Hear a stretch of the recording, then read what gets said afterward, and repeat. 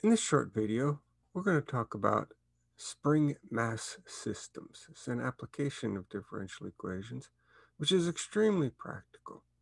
We're going to look at the case first where we have free undamped motion. So let's do a review of Hooke's law. Initially, you have a spring, which is not stretched. It has length L. And then you attach an object to it, some mass, and it stretches an additional S units. That's what we call the equilibrium position. So in this position, the force of gravity due to the mass is in balance with the force of the spring, which is trying to pull it back up. And we call this the equilibrium position or the rest position. So the force of the spring is a constant uh, times the length that it got stretched. That constant we call a spring constant. And in equilibrium, as we noted before, the force due to gravity is going to balance or be equal to the force due to the spring pulling it back up. Now, if we move the object from the equilibrium position, and in this model, we're going to consider down to be positive x, then the force of the spring, which would pull the object back up again, is still just going to be that same constant times the uh, distance the spring has been stretched. So let's go back to Newton's second law, eh, which says that the sum of the forces acting on a body is going to be mass times acceleration. So acceleration is the second time derivative of x. And we know the force of the spring trying to pull it back up uh, is given by Hooke's law. And then the, the weight of the object, the force due to gravity, is trying to pull it down. Now, if I remove the parentheses, I'm going to have a negative ks and I know that a negative Ks plus mg, so Ks is the same as mg. We discovered that from the rest position. So I'm only with left with negative k times x. So I'll divide through by m. And then for convenience, we're going to just rename the k over m as omega squared. So this e differential equation here describes what is known as free undamped motion or simple harmonic motion. So the result of this is going to show that the spring would oscillate forever. We know that's not true, but for short periods of time, uh, this is a very good model. If we impose some initial conditions, um, so if we have, remember, down is positive in this uh, model. And so if we have uh, my initial position being positive, then we must have pulled the object down. It starts below the rest position. And if I look at the first derivative, so the velocity, uh, if that's negative, if I have a negative initial velocity, that means that it is being pushed upwards when it's released. All right, so let's try to solve this. Uh, our auxiliary equation is just m squared plus omega squared equals zero. Don't get confused. This is just our dummy variable that we use in the auxiliary equation. It does not represent mass. And so our solution is going to be uh, the sum of sines and cosines. Uh, so that would just indicate that, yes, it has this periodic motion. It's just uh, moving back and forth in,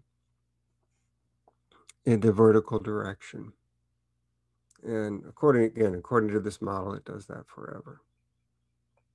Some terminology associated with this, um, our frequency, um,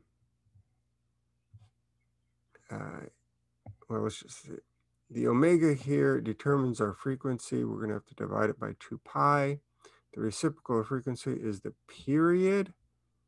So we're going to have 2 pi over omega. And then there's this new term, which you may or may not be familiar with, called circular frequency. Uh, and that's what the omega is. So the omega is the circular frequency. It's without the divisor of 2 pi. And the solution to this initial value problem is called the equation of motion. Now, how important is this? You say it's just such a simple model. Well, if you think about it, much more complex objects than a simple spring act like a simple spring. So anything that has some sort of uh, flexibility or which could vibrate could act as a spring. And so I've printed out here a, this, a small snippet of the output from a structural analysis program and which was used to analyze something complicated, probably a car body.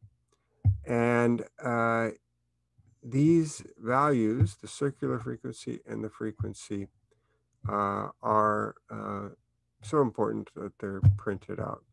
And um, you can see that there's not just one because it's a very complex object, but still it's the same basic idea. Everything builds off this very simple spring mass model. All right, so let's look at an example.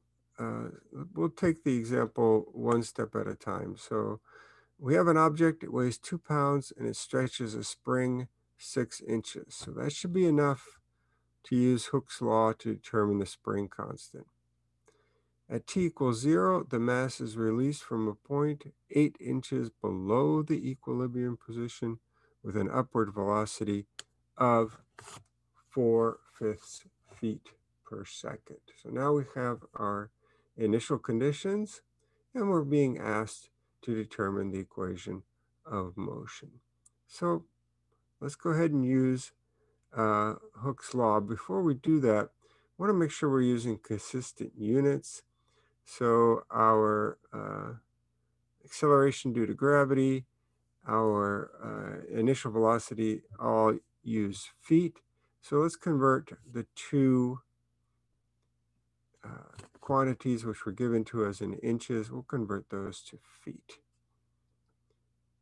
And we're going to convert the pounds, so the weight is the two pounds, it's got to be converted to mass. And how do you do that? Oh, you take the weight and you divide by the acceleration of gravity, uh, which we're taking to be 32 feet per second squared. The unit of mass in the uh, this system of units is slugs. So if you take your pounds and divide it by the acceleration due to gravity, the you get 1 16th slugs. So I'd like to find the value of k using Hooke's law. And so uh, that just, remember this is at rest or at the equilibrium position. And that gives us k equals 4. And now we have our initial differential equation. And I can multiply through by 16. Get it in standard form. Take a look at our uh, auxiliary equation. And as expected, we're going to get an equation involving sine and cosine. We just need to determine the coefficients C1 and C2 or the parameters C1 and C2. So we know that uh, uh, the initial position is two thirds feet below the equilibrium position, and that tells us that the constant C1 should be 2 thirds. To impose the second initial condition, I need the derivative. And so the second initial condition says that it was uh, released with a velocity of uh, four fifths feet per second upward. That is going to mean that we have a negative initial velocity because remember downward is positive in this model. And so then we can calculate the value of C2. And there's our solution, the equation of motion. Now we may want to write this uh, in an alternate form as just a single sine function with this phase shift here, phi. And you can figure this eh, formula out by just using the double angle, angle formula for sine. And so uh, the way that we would calculate it then uh, is the amplitude A is the square root of the sum of the squares of the coefficients on sine and cosine. Uh, to calculate phi, which is the phase angle, uh, we would use these equations here, which essentially tell us that the tangent of phi is c1 over c2.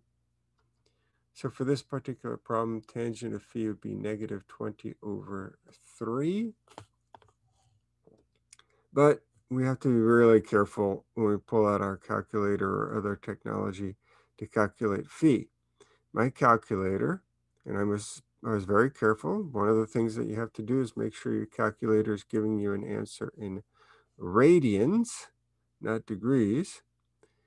And it says that uh, phi would be negative 1.422. And um, that is uh, correct because it's calculating the arctangent and arctangent is only defined between negative pi over 2 and pi over 2. But this actual angle phi that we're trying to calculate, which satisfies this equation, uh, is not in the fourth quadrant.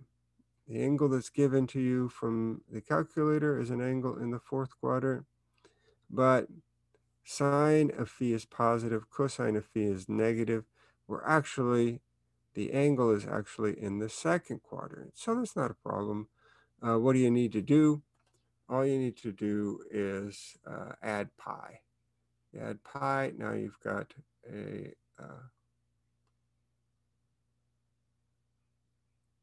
an angle in the uh, second quadrant.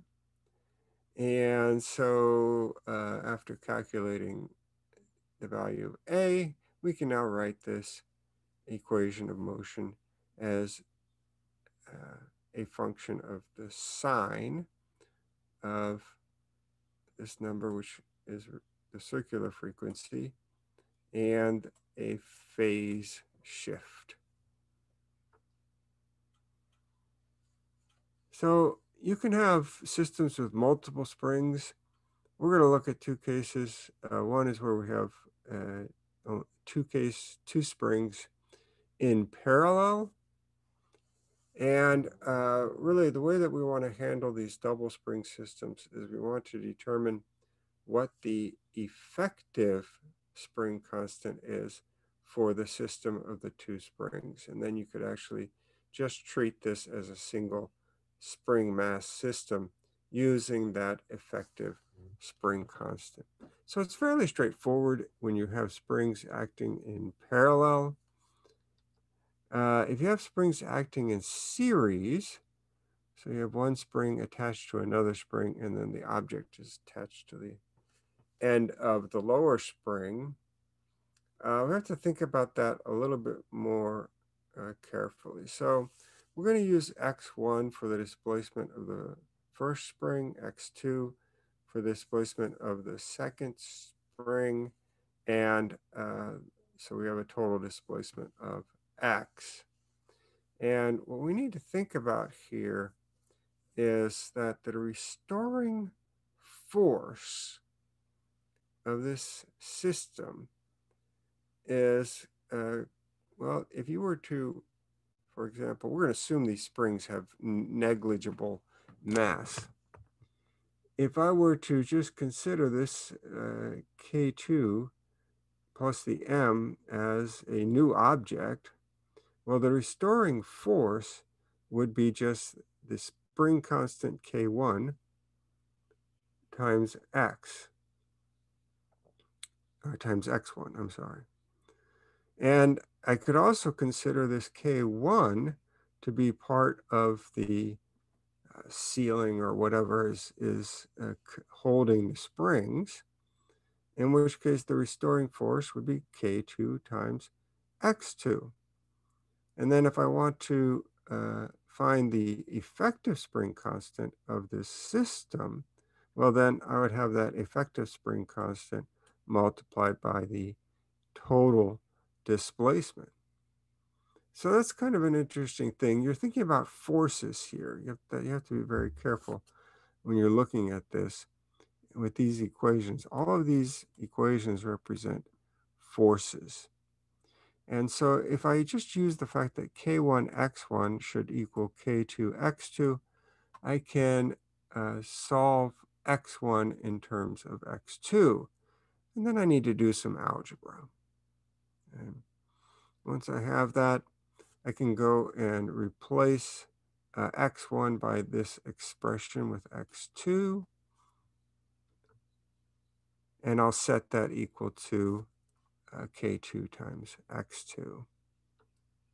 And work out the algebra and uh, find out that the effective spring constant for this system of two springs in serial is the product of K1 and K2 divided by the sum of K1 and K2.